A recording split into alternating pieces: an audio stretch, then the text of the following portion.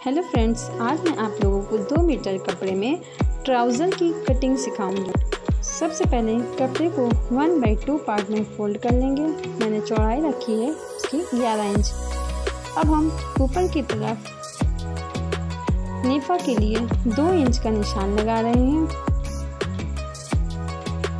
इसमें हम एक इंच की लास्टिक डालेंगे। अब हम हमारी जितनी भी कमर है उससे दो इंच एक्स्ट्रा रखकर निशान लगाएँगे। जैसे हमारी कमर है, अगर बत्तीस इंच तो इसका वन बाई फोर पार्ट होगा आठ तो उसको दो इंच एक्स्ट्रा करके, यानी दस इंच का निशान लगाना है और मैंने इसका आसन रखा है बारह इंच।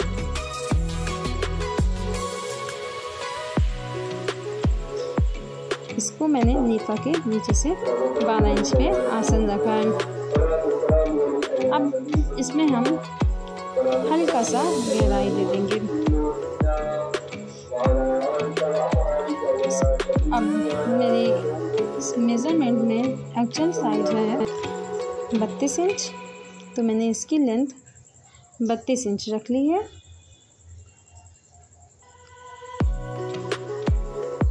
इसकी लंबाई है बत्तीस इंच। अब हम ट्राउज़र की जो भी चौड़ाई हमने कपड़े की रखी है, उसके बीच में निशान लगाकर तीन इंच एक तरफ़ से और तीन इंच दूसरी तरफ़ से निशान लगा लेंगे। अब हम इधर से अट्ठारह इंच निशान लगाएँगे। और नीचे की साइड मार्जिनिंग के लिए हम थोड़ा थोड़ा छोड़ देंगे। अब इस स्केल से हम इसमें निशान लगा लेंगे इस तरह से। इस स्केल से इजीली निशान लग जाता है। ट्राउज़र की कटिंग के लिए ये स्केल बहुत अच्छी होती है। ये मार्केट में इजीली मिल जाती है। अब हम फोल्डिंग के लिए नीचे साइड से तीन इंच एक्स्ट्रा निशान लगाएँगे। ये हमारा निशान लग गया, अब इसकी हम कटिंग कर लेंगे।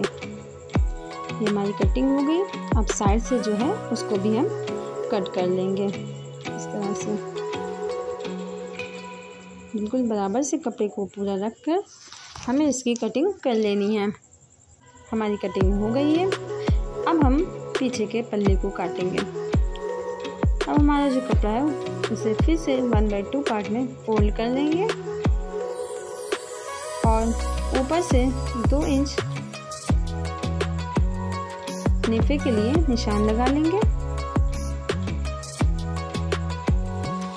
और ये जो निशान हमने लगाया है, हमें अब अपने आगे वाले पल्ले की जो हमने कटिंग की थी हमें उसे लेना है। और इसी नेफे के निशान के बिल्कुल बराबर से रखना है। उस साइड से बिल्कुल हम सही निशान लगा लेंगे और इस साइड से हम दो इंच एक्स्ट्रा रखकर निशान लगाएँगे आसन के लिए। क्योंकि पीछे वाले पल्ले को हमें थोड़ा चौड़ा काटना है। इसमें भी उसी तरह सेंटी से गहराई दे देंगे। और इस तरह से निशान लगा लेंगे, जैसा कि आप लोगों को वीडियो में दिख रहा है। और ऊपर से हम इस तरह से टेढ़ी लाइन खींच लेंगे। बाहर के साइड से हमारा बराबर रहेगा, इधर से अच्छा रहेगा।